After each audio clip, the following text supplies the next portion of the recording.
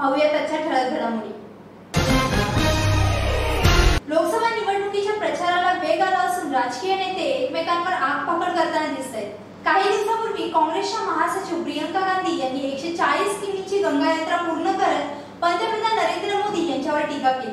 यावेळी केंद्रीय वाहतूक मंत्री नितीन गडकरी यांनी जर आम्ही जलमार्ग तयार केले नसते तर ही परिक्रमा झाली असती का? असा सवाल करत प्रियंका गांधी यांच्या टीकेला प्रत्युत्तर दिले अलाहाबाद टू वाराणसी जल, जलमार्ग नहीं बना था तो नाव में बैठ कर कैसे जाती? और उसने गंगा का पानी पिया। क्या वो यूपीए सरकार में पी सकती थी? ये दो बातें सिद्ध करती पिछले बार इनके राज में मॉरिशस के प्रधानमंत्री आए थे। वो गंगा स्नान करने के लिए गए, पर गंदा पानी देखकर वापस चले गए, बिना स्नान करके। आज प्रियंका गांधी खुद पानी पी रही, इसका मतलब काम हुआ है। हमने भी नहीं कहा पूरा काम हुआ है। अभी तो 30 परसेंट ही प्रोजेक्ट पूरे हुए, दो सौ चौरासी में से। और काम एक साल के अंदर, मार्च, अगले साल के मार्च एंड तक। 100 परसेंट गंगा अविरल होगी, निर्मल होगी। की राजनीति नहीं हो रही तो डंके की चोट पर कह रहे जो काम हमने किया वो बता रहे हैं। अगर नहीं होगा तो बताओ। कोई नारे जो होता है, वो जो खाली लोग हैं, वो उसकी चर्चा करते हैं। आपको 24 घंटे दिखाना है टीवी, इसलिए आप चर्चा करते हैं, बाकी कोई नहीं करता है।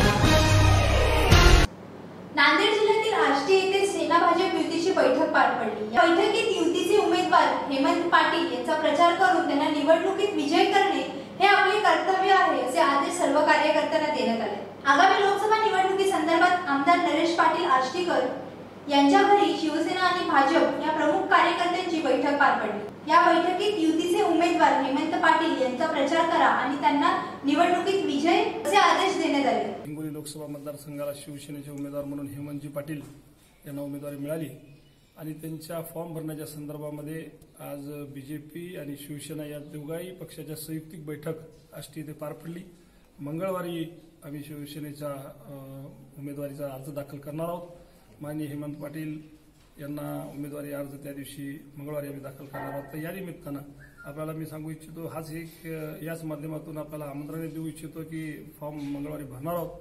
आपण मोठ्या संख्येने सर्व कार्यकर्ते आणि शिवसेनेला म्हणणारा वर्ग यांनी सगळ्यांनी फॉर्म भरण्यासाठी यावे ही विनंती करतो.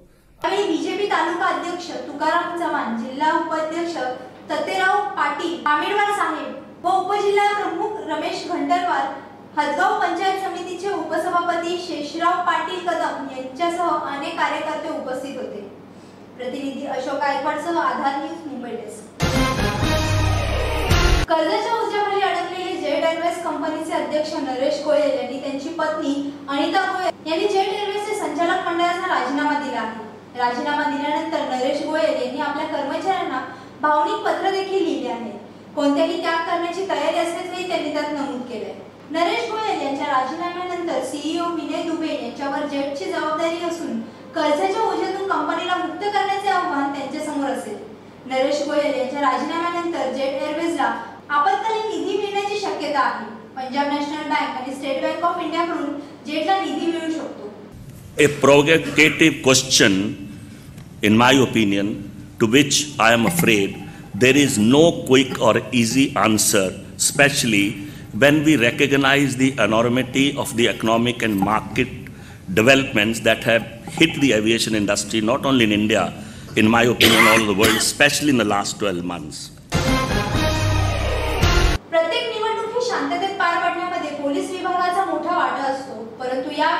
Police कर्मचाऱ्यांना निवडणूक भत्ता आणि प्रवास भत्ता मिळणार नाहीये. निवडणूक आयोगाच्या वतीने विविध कामांसाठी महसूल विभाग जिल्हा परिषद विभाग यासह विविध शासकीय विभागातील अधिकारी यांच्या सेवा अधिकृत केल्या. निवडणूक दरम्यान देण्यात आलेल्या कर्तव्यात कसूर करणाऱ्या कर्मचाऱ्यांवर कठोर कारवाई होते. निवडणूक काळात केलेल्या कामासंदर्भात या कर्मचाऱ्यांना निवडणूक भत्ता यासह काही अधिकार प्रवास भत्ता देखील मिळतो परंतु निवडणूक विभागाकडून पोलिसांना प्रवास भत्ता मात्र मिळणार नाहीये. औरंगाबाद येथे काँग्रेसने सुभाष झांबड यांची उमेदवारी जाहीर करताच जिल्हाध्यक्ष अब्दुल सत्तार यांनी बंडाचं निशाण फडकावलं.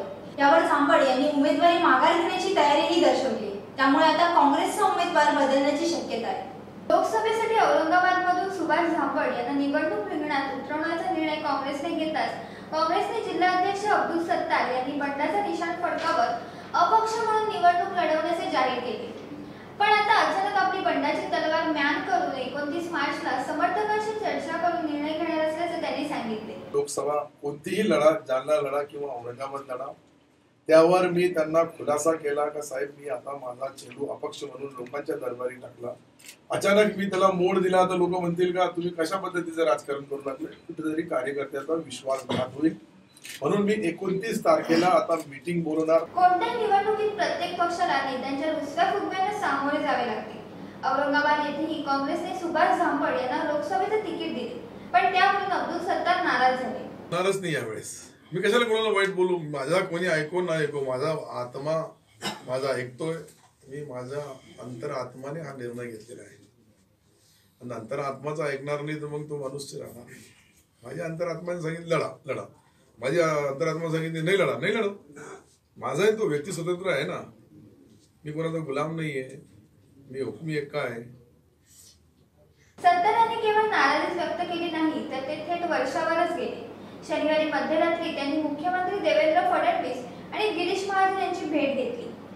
या सर्व घडामोडी पाहून पक्षाचे अधिकृत उमेदवार सुभाष झांबड यांनी माघारीची तयारी दर्शवली. किंवा त्यांना आज जरी वाटत असेल की जालन्यातून लढायचं आहे आम्हाला तरी आज पार्टी मी अशोकरावजीवर बोलेल किंवा वरिष्ठांबरोबर बोलेल. आज सुद्धा आपल्याला जालन्याचं तिकीट बदलता येतं. किंवा त्यांना एवढं वाटत असेल जालना नाही लढवायचं आहे. औरंगाबाद लढवायचं आहे. मी जरी माझी उमेदवारी जाहीर झाली असेल पण ते जर औरंगाबाद लढवायला तयार असेल मी माझी माघार घेईन मी पाटील विनंती करेन. हर्षवर्धन जाधवांना काँग्रेसचे तिकीट देण्यासाठी प्रयत्न काँग्रेस चंद्रपूर प्रमाणे औरंगाबाद येथेही उमेदवारांमध्ये बदल करण्याची शक्यता आहे. त्यामुळे पक्षातील गटातटाच्या राजकारणाचा फटका काँग्रेसला बसू शकतो. Bureau report Aadhaar news Aurangabad. राष्ट्रवादीचे ज्येष्ठ नेते शरद पवार यांनी कराड येथील महाआघाडीच्या प्रचार सभेत पंतप्रधानांनी भाजपावर हल्लाबोल केले. अभिनंदनला अटक केल्यानंतर जगातील देशांनी पाकिस्तानवर दबाव टाकला आणि अभिनंदनची सुटका झाली. जर खरंच मोदी छप्पन इंच छातीचे असतील तर कुलभूषण जाधव यांना सोडवून का आणत नाही असा खडा सवालही त्यांनी उपस्थित केला ते सांगतात छप्पन इंचाची माझी छाती.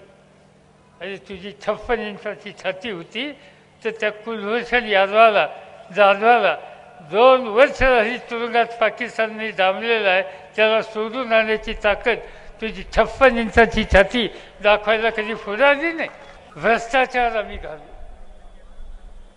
प्रधानमंत्री सांगत होते सगळीकडे. जाऊन ना खाऊंगा ना खाणे दूंगा ज्याचा उल्लेख या ठिकाणी आत्ता केला. एक उदाहरण राफेलचं. जगातली ती मोठी कंपनी फ्रान्समधली दसाल्ट नावाची कंपनी त्या कंपनीमध्ये ही विमानं कशी तयार केली जातात ही बघण्याच्यासाठी देशाचा संरक्षण मंत्री म्हणून. मी स्वतः आणि त्यावेळेचे संरक्षण खात्याचे सचिव एन एन होरा आम्ही दोघंही फ्रान्सला गेलो. राफेल प्रकरणात चौकशीला हे सरकार का घाबरत आहे? असा सवालही त्यांनी केला. यशवंतराव चव्हाण यांनी देश मजबूत केला. विमानाचे कारखाने काढले. इंदिरा गांधी यांनी पाकिस्तानचे दोन तुकडे केले. या सरकारच्या काळात पन्नास टक्के शेतकऱ्यांना देखील कर्जमाफी मिळालेली नाही असा थेट आरोप त्यांनी केला. जागा उमेदवारी यांचा गुण बऱ्यापैकी आटोक्यात आला असून आता प्रचाराची रणधुमाळी सुरू झाली आहे कोल्हापुरात श्री करवीर निवासनी अंबाबाईचे दर्शन घेऊन मुख्यमंत्री देवेंद्र फडणवीस आणि शिवसेना प्रमुख उद्धव ठाकरे यांनी युतीच्या प्रचाराचा शुभारंभ केलाय. छप्पन्न पक्षाच्या भरोशावर देश चालत नाही तर त्यासाठी छप्पन्न इंचाची छाती लागते असं मुख्यमंत्री म्हणाले. तर उद्धव ठाकरेंनी शरद पवार यांच्यावर टीका केली आहे एकीकडे आमची युती झाली आम्ही तिकीट वाटप केलं आम्ही एकत्रित पुढे निघालो पण त्यांचं काय चाललंय त्यांनाच माहिती नाही. छप्पन पक्ष एकत्रित आले म्हणतात. मी त्यांना विचारू इच्छितो अ छप्पन रजिस्टर्ड पक्ष तरी आहेत का? जो रस्त्यावर भेटला त्यालाही मंचावर बसवलं.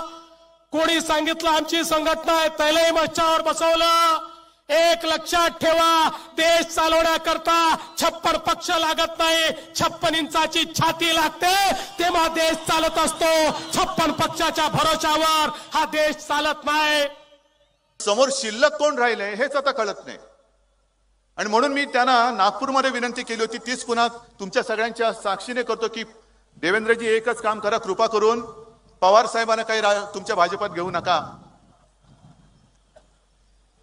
याचं कारण असं की एक तर काय लायकीची माणसं आहेत आपल्याला सगळ्यांना माहिती आहेत.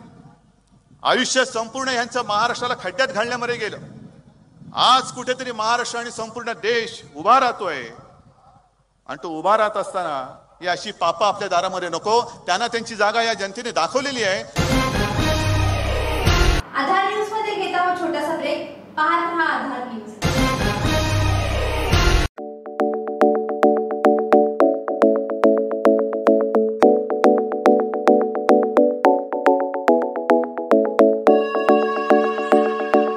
थेरपी म्हणजे काय? कशा पद्धतीने तुम्ही ती ट्रीटमेंट करता?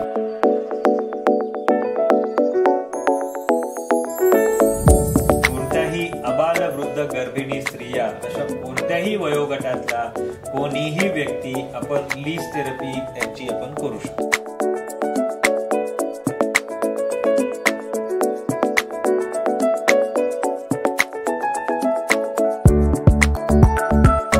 पूर्वीच्या काळी आपल्या आजी आजोबा पंजोबा नी रिप्लेसमेंट करत होते का? ते लोक त्यावेळेस आपले पूर्वज लीज थेरपी वापरत होते.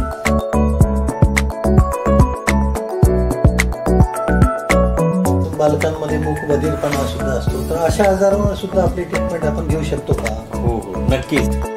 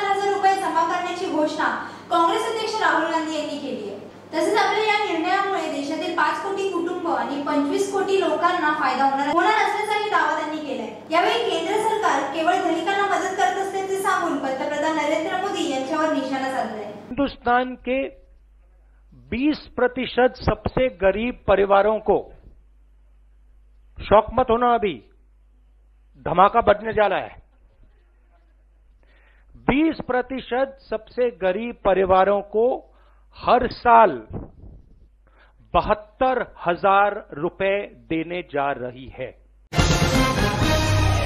लोकसभा निवडणुकीच्या रणसंग्रामाला सुरुवात झाली आहे. तसेच उमेदवारांचे अर्ज भरण्याची लगबग देखील सुरू आहे.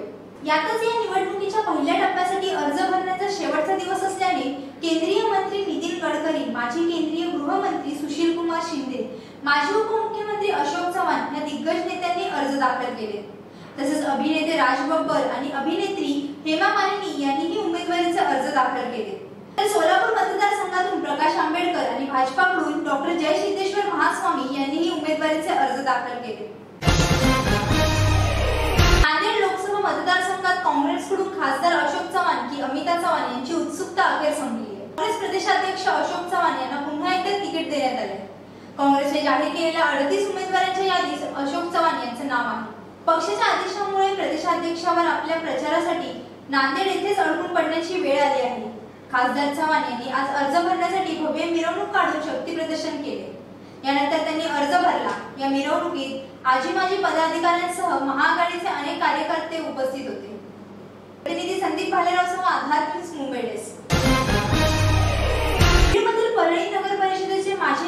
पांडुरंग गायकवाड यांची तलवारीने वार करून निर्गुण हत्या करण्यात आली आहे. निवडणुकीच्या रणधुमाळीत हा प्रकार घडल्याने राज्यभरात खळबळ उडाली आहे. या हल्ल्याचे कारण अद्याप कळू शकलेले नाही मात्र राजकीय वैरातून हा प्रकार घडला असावा अशी शक्यता वर्तवली जाते. बीड जिल्हा हदरला तो एका राजकीय नेत्याच्या हत्येने.